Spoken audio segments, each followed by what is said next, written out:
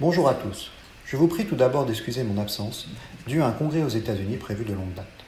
Je voudrais ensuite remercier Pascal Cossard et Daniel Choquet, ainsi que les membres du jury, pour avoir sélectionné la candidature de mademoiselle Diana Pinheiro pour ce prix Les grandes avancées françaises en biologie. Mademoiselle Pinheiro a réalisé sa thèse au sein de mon équipe Polarité Division Morphogénèse à l'Institut Curie sur les mécanismes de division cellulaire au sein des tissus épithéliaux. La division cellulaire est à l'origine de toute forme de vie, assurant la multiplication du nombre de cellules. Chez les organismes multicellulaires, elle contribue à la croissance et au développement de l'embryon, ainsi qu'à l'homéostasie des tissus tout au long de la vie. Sa dérégulation conduit à de nombreuses pathologies telles que le cancer. La dernière étape de la division cellulaire est la cytocinèse, qui permet de séparer les deux cellules.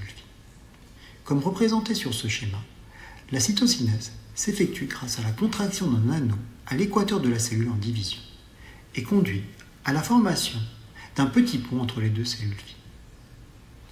La formation de ce pont est suivie par un processus d'abscission séparant définitivement les deux cellules vie.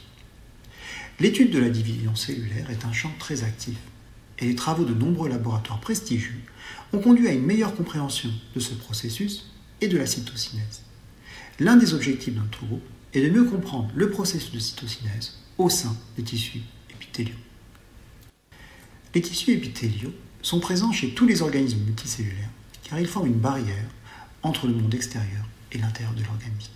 On peut citer deux exemples, la peau et l'intestin. La formation d'une barrière nécessite une cohésion entre cellules du tissu.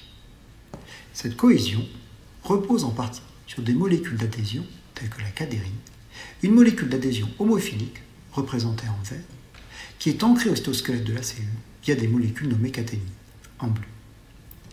Bien que les tissus forment des barrières étanches, ils se doivent d'être prolifératifs au cours du développement et de la vie adulte pour assurer leur croissance et leur homéostasie. À titre d'exemple, le petit intestin se renouvelle en 2 à 4 jours. En utilisant un épithélium simple chez la mouche vinaigre ou drosophile, nous avons étudié le processus de cytocinèse au sein des tissus pour comprendre comment un tissu épithélial peut assurer ces deux fonctions, proliférer tout en agissant comme une barrière. Contrairement aux cellules isolées, ici à gauche, l'observation de la division au sein d'un tissu épithélial, par à droite, par microscopie timelapse, a révélé que la division cellulaire conduit à la formation d'une interface longue entre les deux cellules vives. Interface où les cadérines se localisent et maintiennent la cohésion entre ces deux cellules. Cette observation simple, faite par de nombreux groupes sur de très nombreux tissus, suggère donc l'existence de mécanismes spécifiques de régulation de la cytocinèse au sein des tissus épithéliaux. En observant ce schéma, on peut noter une différence majeure entre la cellule isolée et la cellule au sein d'un tissu.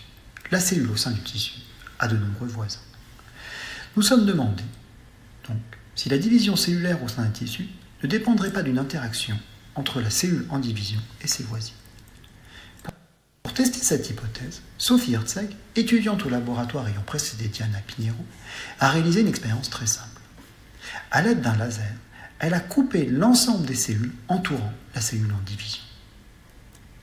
De manière très intéressante, la division conduit alors à la formation d'une interface courte entre les deux cellules vives, comme dans le cas des cellules isolées. Ce résultat suggère l'existence d'une communication entre la cellule en division et ses voisines. En se basant sur les travaux de Sophie Herzeg au laboratoire, Diana Pinheiro a cherché à mieux comprendre les mécanismes assurant cette communication entre cellules au cours des divisions et donc à mieux comprendre les processus de division cellulaire au sein des tissus. Je vous remercie pour votre attention et je donne la parole à Diana Pinheiro pour qu'elle expose ses travaux de doctorat. J'espère que vous avez tous bien entendu cette euh, très bonne présentation. Donc c'est à vous maintenant. Exactement.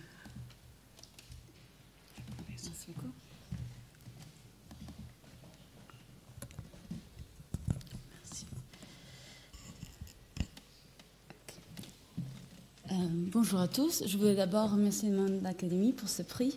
Euh, c'est pour moi un grand honneur de présenter mes travaux de thèse dans un cadre si prestigieux. Euh, vu que je suis très francophile, mais pas encore parfaitement francophone, je voulais continuer la suite de ma présentation en anglais. So the title of my talk today is Three is a Crowd, The Challenges of Dividing with Neighbors. So as Yohanns already alluded in the introduction, when I joined this lab for my PhD, we already knew that the neighboring cells play a critical role in the formation of a new cell-cell interface following cell division. One of the main observations we had came from high-resolution time-lapse imaging of flies expressing a membrane marker in green to see all the cell outlines and myosin 2 in red to visualize the contractile and constriction and cytokinesis. So when I play this movie and you look at the dividing center in the cell, in the center you can see the constriction of the ring and the quick formation of a new membrane interface between the two daughter cells. And if you now focus on what happens in the neighboring cells during cell division, what you can appreciate is that there's also accumulation of myosin 2 in the neighboring cells during cell division. And this can be more easily appreciated in these still images here. By a combination of laser ablation experiments and genetic manipulation, previous work in the lab was able to show that activity of myosin 2 in the neighbors is actually required to exert the forces for membrane juxtaposition to occur in the dividing cell and therefore form a long contact between the daughter cells. Importantly, this is not just the case in flies, but it was also shown in the early chick embryo that a similar mechanism requiring myosin activity in the neighboring cells regulates tissue topology following cell division. So when I joined the lab, the big question of me, my PhD was to understand how neighboring cells can sense a nearby event of cell division and how does that induce myosin 2 accumulation in the neighboring cells. So the first question we actually asked was what, uh, whether constriction of the contractile ring was required.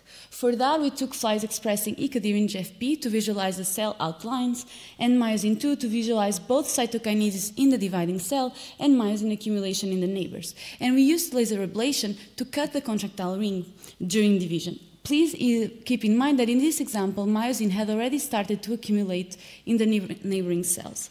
So as soon as the dividing cell is ablated, you can see the relaxation is very quick, indicating that strong pulling forces are exerted by the contractile ring.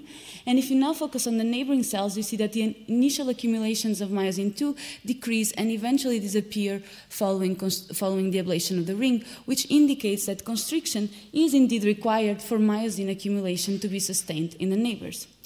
Now, when we looked at these uh, results and we knew that E-cadherin junctions can respond to mechanical stimulation, we wondered whether the signal provided by constriction was of a mechanical sort. To try to understand that, we used this kind of ablation experiments, and what we did was to measure the recoil velocity, not just in wild type cells, but also in a number of scenarios where we downregulated genes required for cytokinesis. And we tried to find a few cases where the pulling forces by the ring were reduced. So as you can see here, uh, in the wild-type case, following the ablation of the ring, the dividing cell relaxes quickly, which indicates that there are strong pulling forces being exerted by the ring. When we perform knockdown of different genes regulating different aspects of, of cytokinesis, you can appreciate the recoil velocity following the ablation is much reduced, which indicates that lower pulling forces are exerted by the contractile ring. So now we have the perfect scenario where we can ask what happens to myosin accumulation when the ring is intact, constriction proceeds, but the pulling forces are reduced. So here I'm showing you the results. So this is, uh, again, cadherin in green and myosin 2 in red. These are the accumulations in wild-type cells. If now we look at cells neighboring one of these genes, a peanut RNAi cell, you can see that myosin accumulation in the neighbors is reduced. And this is also true for cells neighboring ROCK and anillin RNAi, and this is quantified below. More importantly, when we plot the recoil velocity in the dividing cell following ablation, which is a proxy for the pulling forces exerted by the ring, versus the amount of myosin accumulation induced in the neighbors, we see a really nice linear relationship, which indicates that the stronger the dividing cell pulls, like in the wild-type case, the more myosin 2 we will find accumulated in the neighbors, which indicates that each epithelial cell division actually entails an event event of mechanosensing that takes place in the neighboring cells.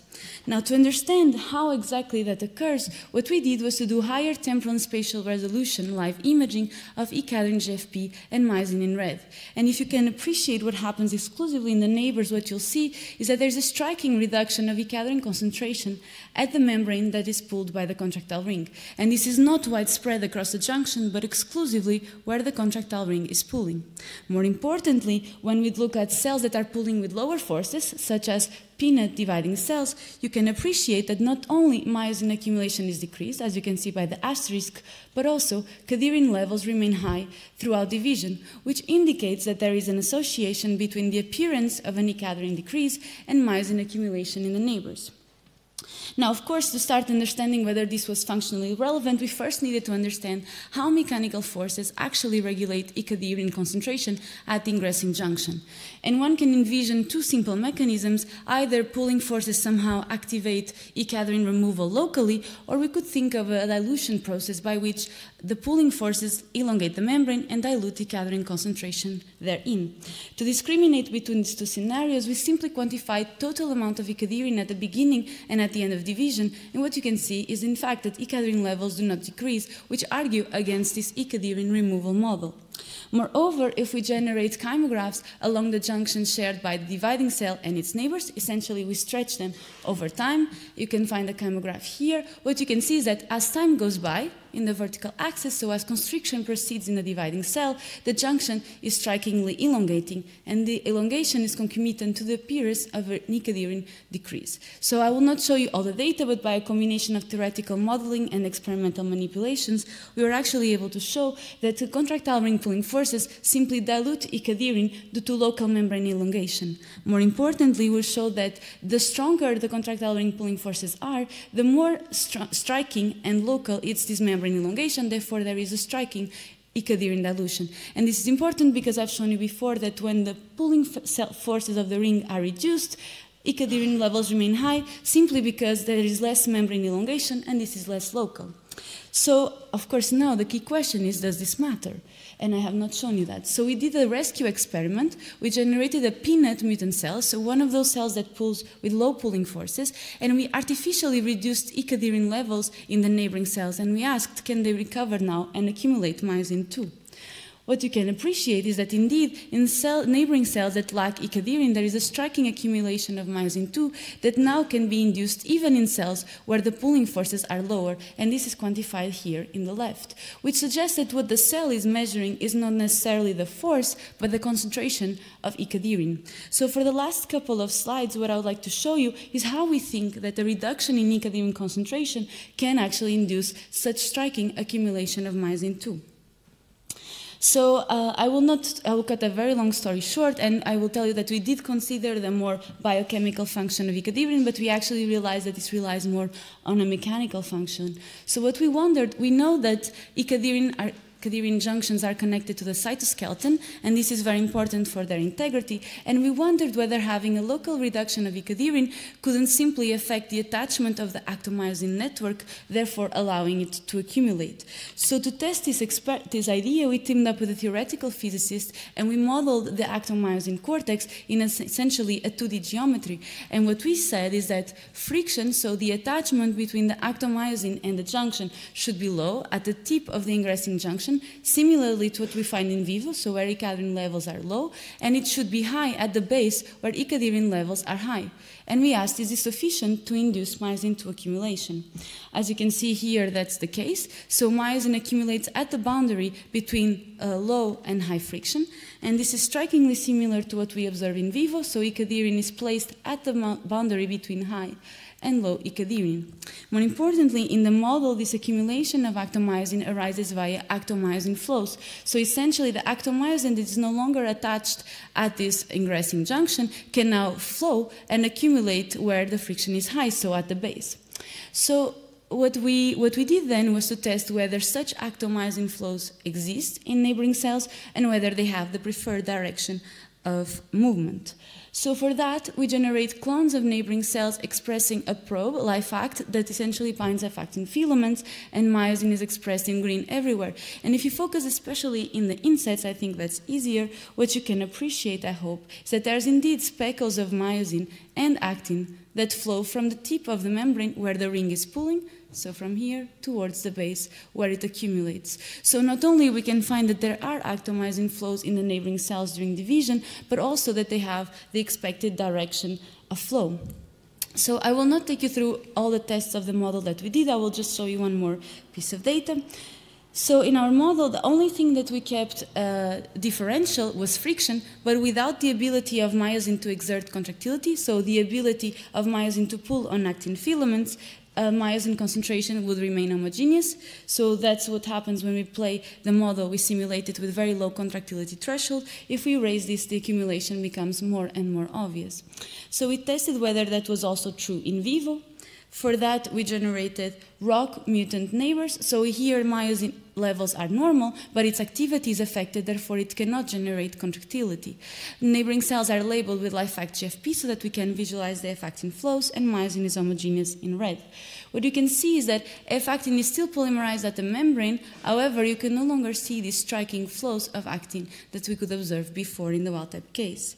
We can quantify this, and now we see that ROCK neighboring cells either show no flows or very intermittent flows, even when we find some flows, the velocity is very much affected as we predict by the model, and this is consistent with the fact that such neighboring cells, sorry, don't accumulate myosin 2. So I would like just to finish by um, showing, showing you a slide of conclusion. So I hope I have convinced you that each epithelial cell division entails a mechanosensing event in the neighboring cells, and uh, that the transmission of cytokinesis forces are, um, occur in this case via ecadherin dilution and actomyosin flows. And we believe this to be quite important because it shows a novel mechanism for how forces can be sensed by the adherens junctions and while they undergo junction remodeling. And importantly, most of the work so far has focused on the reinforcement of the junctions under stress and not so much on how they can remodel, such as occurs during epithelial cell division, cell-cell intercalation, cell apoptosis, and so on. So I would like just to finish by acknowledging, of course, Yohanns, that was an amazing mentor during my PhD, everyone uh, in the lab that contributed immensely to the work, especially people highlighted in blue. And yes, people are here, funding agencies, and especially the Academy for the opportunity to present my work. And I'm happy to take any questions.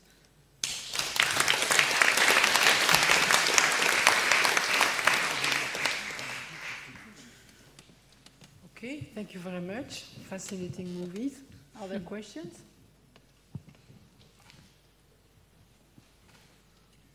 No? Daniel? Yeah, in, in the flow of the actomyosin that we described, do you have any idea about the organization of the actomyosin filament? Are they unipolar or parallel or antipolar?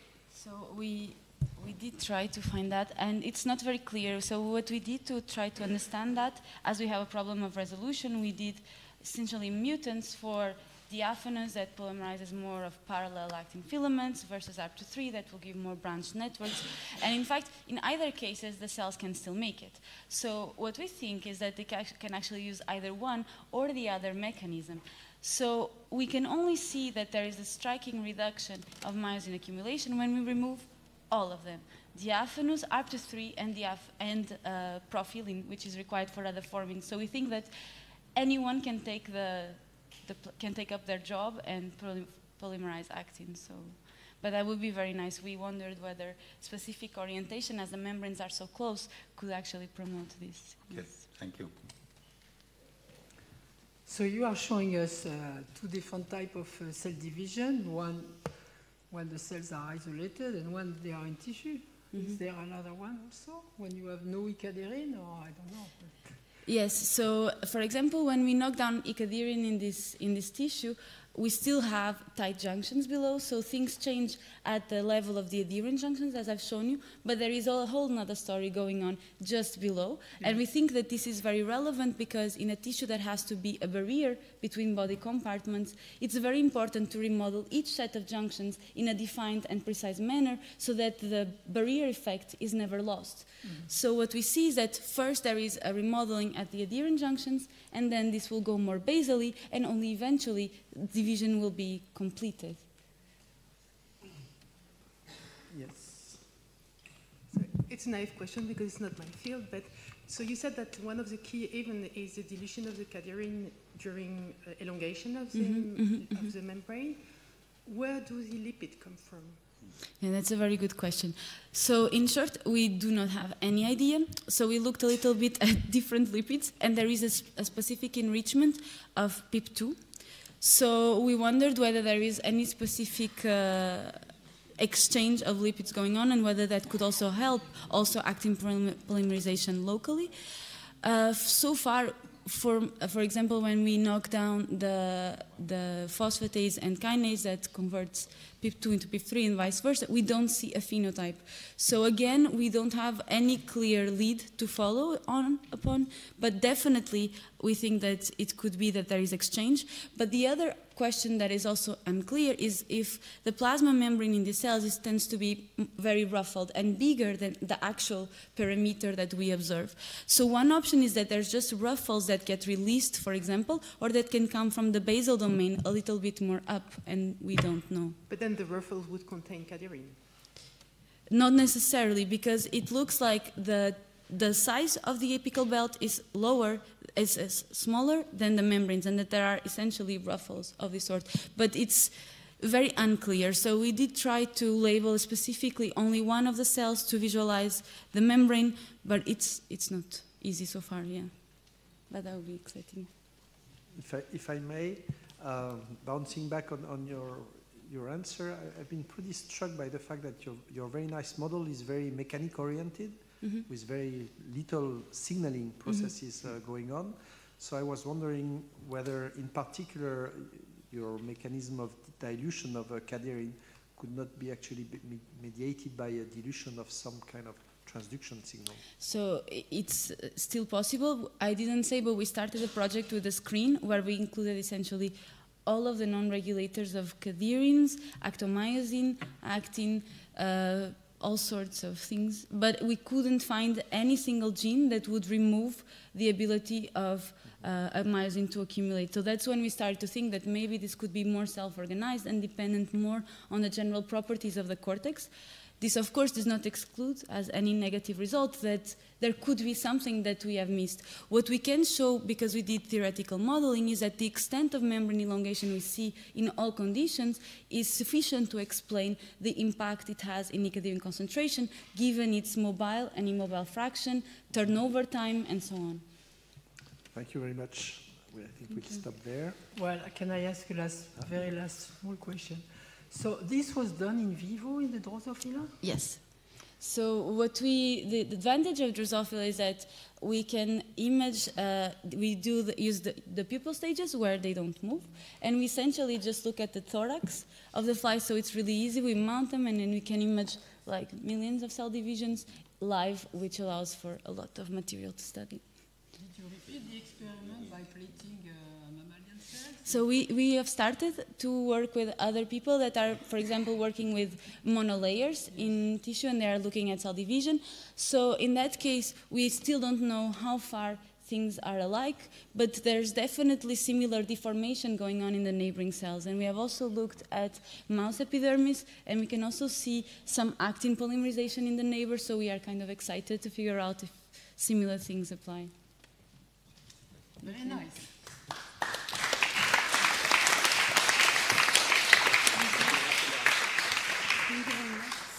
La médaille. Bravo.